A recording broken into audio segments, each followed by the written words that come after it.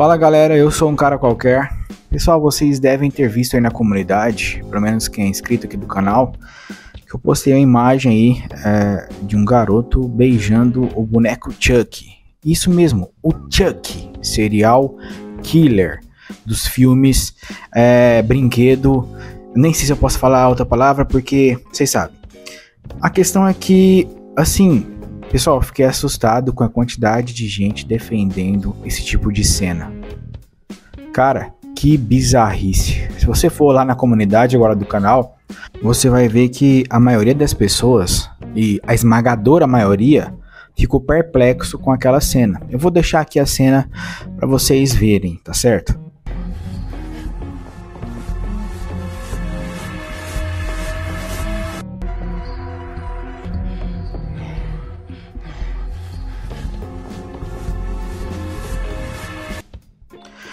Beleza, tipo assim, eu fui tentar entender a cena, é, mesmo sabendo que não existe sentido, não existe contexto que essa cena não seja bizarra. Teve um cara que comentou o seguinte: primeiro, o ator tem 18 anos, então ele sabe já que ficou estranho. Ele tá argumentando que o ator tem 18 anos, mas o personagem a gente sabe que não tem.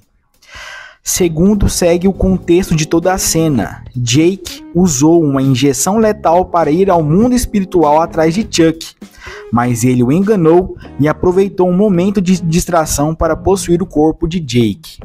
Não deu para entender muito bem, simplesmente é, o que, que ele falou pela cena. A cena a gente simplesmente vê é, o boneco falando para que é, o garoto faça ele se sentir é, de novo, né, vivo, uma, um, um, menino de novo, e o menino beija ele. Aparentemente isso é uma alucinação, cara, mas não deixa de ser bizarro e não deixa de ser uma cena colocada na série. Teve um cara que perguntou: o personagem tem quantos anos? O contexto que você citou não muda o fato do Chuck estar beijando o garoto.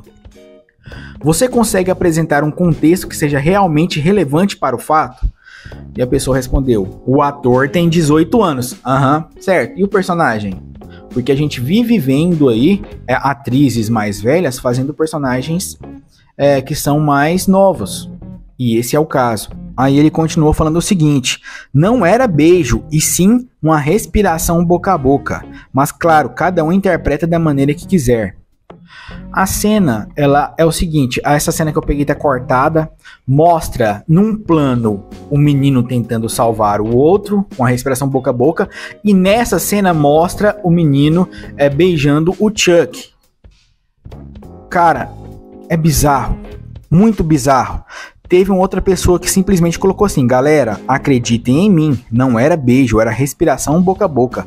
A linguada no boneco aqui era para desobstruir a garganta. Vocês não entendem nada de primeiros socorros. Ele postou a, uma imagem, um frame, bem na hora aí da, da do salvamento, né, do boca a boca. Cara, isso aqui é um beijo. Ah, todo o contexto de um lado é a, a, a, um salvando o outro, mas no plano ali mostra o, o rapaz, o garoto, beijando o Chuck de língua. Não bastasse ele tentar dar contexto para essa cena ultra bizarra, eu trouxe aqui mais algumas pessoas que, sério, cara, é, o mundo tá perdido. É como falaram, né? A janela de Overton já tá tão grande assim que as pessoas estão anestesiadas. Elas não conseguem mais diferenciar o que, que é certo e o que, que é errado. Olha só, tanto faz, a série tá ótima, você tem a opção de não ver, amigo. Com certeza a gente não vai assistir, né? Esse aqui falou o seguinte: tu sabe que o protagonista é mal, tipo, o demônio, né? Espera-se esse tipo de comportamento do capiroto, capiroto mesmo, não? Grande justificativa, cara. A gente sempre viu Chuck, eu pelo menos vejo o Chuck desde que eu era criança. Sim, Antigamente não tinha muito essa, essa lerdeza de hoje em dia, não. Criança assistia tudo quanto é coisa.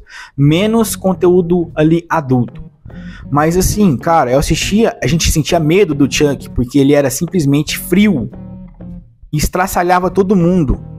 Hoje em dia, a gente tem que ver ele fazendo essas bizarrices e levar em conta que ele é mal. Nossa. Cara, quem está no corpo do boneco nessa cena é o Jack, o namorado do garoto que tem a mesma idade que ele. KKKKK. É incrível, cara, a quantidade de pessoas ali passando pano pra essa bizarrice. Mas, amigo, eu recomendo você assistir a série ao invés de postar baboseira. Uhum, é muita baboseira a gente ver essa cena bizarra e, e ver esse tanto de gente defendendo essa atrocidade. Mas o Chuck sempre fez blasfêmia, desde os primeiros filmes. Não dá para cobrar muito e um slasher com humor.